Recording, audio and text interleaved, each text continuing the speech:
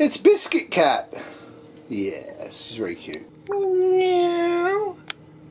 And Marmalade. And of course Huples cat. Meow. Anyway, just a bit of a short video. We're having an SHTF this week and I got all prepared for it. And then Kitty pointed out to me, we actually miss it because we're on nights. But anyways, so what they're doing is on Monday afternoon, they're shutting the whole water supply off and flushing it with noxious chemicals to try and keep the old system working. So you won't be able to draw any cold water for the entire time, which is I think about 18 hours. So I got all set up to flush the toilets and all the rest of it. And uh, before I dismantle that, because we're, we're at work for the entire time, I thought I'd show you what we're doing.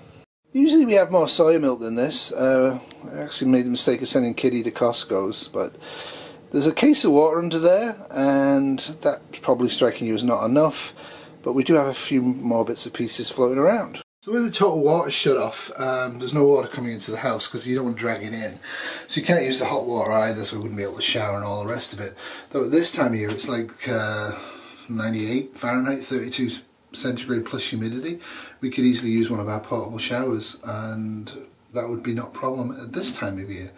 But what about flushing toilets? Well, the advice to give you is to uh, fill up the container and flush toilets normally, which strikes me as kind of bizarre. This is our downstairs toilet, so I have uh, 20 litres of water there and they're filled up with water. So yeah, what they're recommending is that you actually lift this up and fill this with water to flush. Because what I would actually do is just lift this up and then just flush using one of these. There goes Marmalade. And there's Becky Booster. So this is what they actually put on our door, uh, just to tell us that the water service is interrupted. So of course obviously in grid down water service will be off forever. But in this case it's a little minor disruption. Which if you don't notice this on your door, it's going to cause you quite a lot of aggravation. So this is the advice they're giving you and this is pretty good advice actually for grid down if you know the water's going to go off or there's a risk that the water's going to go off or the water's going to be contaminated, you don't want it getting into your hot water systems, you don't want it getting into your cold water. So basically this is what you would do.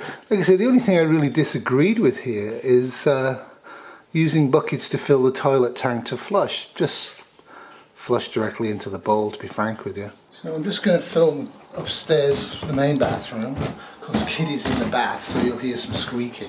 The upstairs toilet, I've obviously put most of the reserve here, and it was only for 18 hours, but I overreacted and I put all of the containers we have. And it was interesting, it's always worth testing your preps. This is leaking, so it has to be recycled. And we're all kind of set up for this. But we're going to be at work anyway, so I'm going to dismantle it. So like I said, I've done this before, I just pour the water directly in. And then that achieves the flush without having to lift up the top. Kitty told me off for wasting water. She's actually going to use up instead of flushing just to reduce the water a little bit, which is small but significant. And like I say, what when these containers are empty, what I would do with them generally speaking is this. Probably going to have another massive thunderstorm tonight. During the day when it's really hot, I would put them out and let them uh, completely dry and fry in the sun. The ultraviolet will sterilize them and then I would just put the caps back on and return them to use for later on in an ongoing SHTF, uh, if we were staying in this place, which we're not, one of the things I would do is I would get my rain barrels out, and I've got three of them, and I'd put one by each of the toilets or three down in the basement, depending if it's nuclear or not. And I would keep them there 55 gallons, um, like 600 litres or something like that, each. And I would use them, I'd get them topped up, I would collect rainwater, I would collect uh, water from the two streams we have right there or the little stream over there or the big river just down there. Like I have a lot of water available and it wouldn't necessarily be water I'd want to drink but I could flush my toilets with it I could wash cars with it I could do laundry with it obviously if you've got petrochemicals in your water supply you can't do laundry and you can't really shower with it so you're kind of in a jam at that point you want to collect water inside the house from rainwater or from deep wells or whatever you want to do. So what we're actually planning to do at the Shire is uh, there's going to be three washrooms inside the house. So I'm fairly sure the other couple are going to go for a flush toilet into the septic, which apparently is starting on Monday. And also the foundations are starting on Monday, so that's exciting. It's finally getting going, in our project. And they're going to have a normal flush into the septic. And what we'll do is what we do at the cottage. We have the septic pumped very often. It doesn't cost that much to pump a septic. Maybe $140, $160. So every two, three years we'll have the septic pumped. So it's always going to start from a position of zero. what we're looking towards right now is actually composting our own human waste. So our toilet on our side would probably be a composting toilet where we would collect the human garbage and then process it for a couple of years in the proper way and then use it as compost. Now people have got a little bit eh, about that, which is I understand. So initially the compost would just go into the forest, to be honest with you. Um, but over time, if we were in SHTF, poop from all four of us or everyone living there, all that poop would need to be collected aggressively and treated because it's about a two year time frame before you can use what's pooped out on your gardens. And obviously anybody who's sick, anybody who's got fever shouldn't be contributing to that production, which is why the flush toilets will be a great bonus.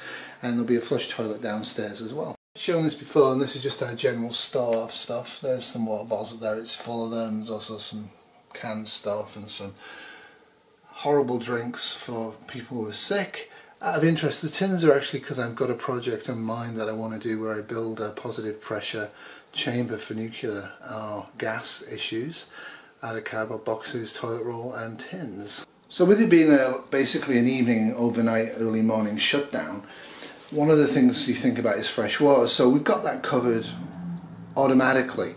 And any preps you can have that are automatically in place, working and functional, is going to be a very high bonus. I know a lot of you are dependent on tap water, right? So you may have some water put away, but it's been put away a month, two months, six months ago, not necessarily that fresh. So you're counting on running the taps to refresh water containers that are already full, or you're going to fill water containers once you know there's a problem. You might not be able to use the taps, depends on the situation. But if you have this one little product, which is really expensive but decent, that kind of gives you a buffer. I am of course talking about the Berkey filter, no idea how much this is now. It's probably in the 400 American dollar range. It's extremely good. What the price of this is is the filters. Uh, we have two black filters and two white filters. Black filters last about 10 years for a family and they get rid of all of the bugs, Ligardia, viruses, protozoas and bacteria.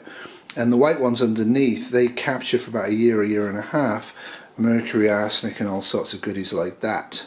So as long as there's not petrochemicals floating around in your water supply, this is a pretty good system.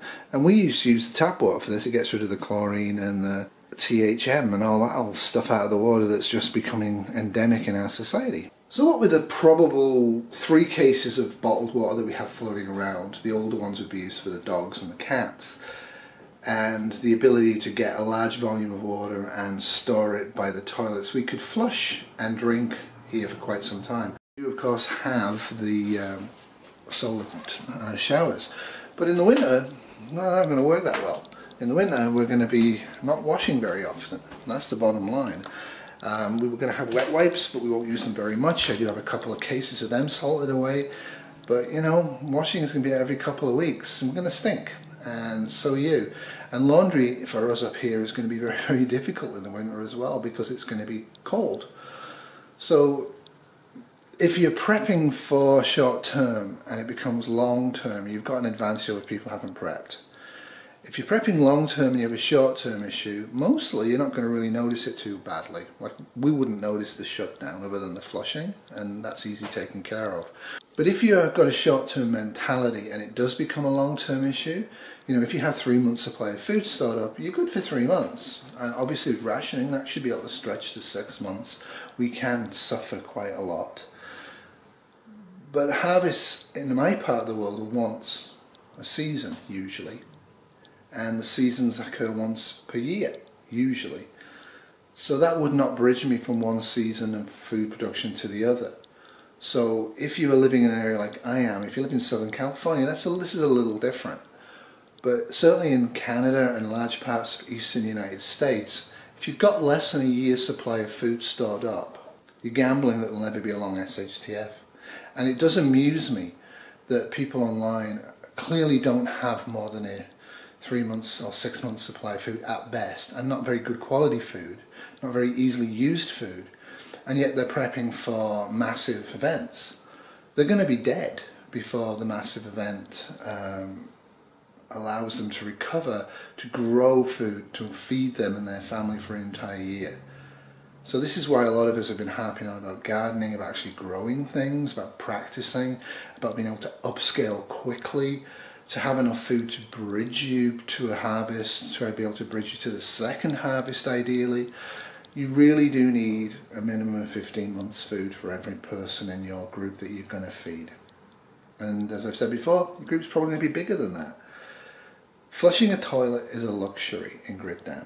In a short-term event, there's no reason if the mains are working, the sewer mains are working, no reason why you can't do that if you have plentiful supply of water. A lot of people don't anymore. But you can use any water for this.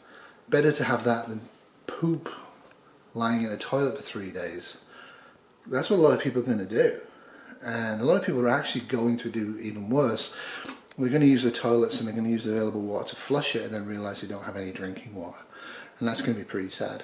So a lot of people online, they concentrate on uh, security, they concentrate on bug outs, they concentrate on bug out bags, they're concentrating on left-wing politics, attacking them, the, the, all of this stuff they're all focused on. Focus on water, right? That's after cash and finance and debt, because that's what is the SHTF for most of us in modern world. Focus on water. Do you have enough adequate water for hygiene, hygiene is vital, and drinking water if it's extremely hot and if the sources near you are compromised or it's not safe to get to them. Do you have enough water in your house, generally speaking, day to day, to last at least a week, preferably two weeks? I have about four weeks of drinking water in the house. Most people should have at least two weeks of water in their house. And I'm asking you right now, do you have two weeks drinking water that you would drink in your house right now for everybody that might be in your house in a sudden SHTF. Anyway, that's all for me. Remember, in SHTF, tomorrow will always be worse than today unless you prepare. And if you prepare, it's still not going to be that great. But it's a good idea to have preps in place that are just automatic, like a Berkey to get rid of the stuff from the tap water because a lot of it's bad these days, in place, regular use, kept topped up, you always have that water supply in the Berkey so you have short term you don't have to get any water. In long term after a day or two if you need to get water you need to know where to get the water from how you're going to get the water if the water gathering is going to be dangerous or not and if so how you avoid. Damage to yourself. Bye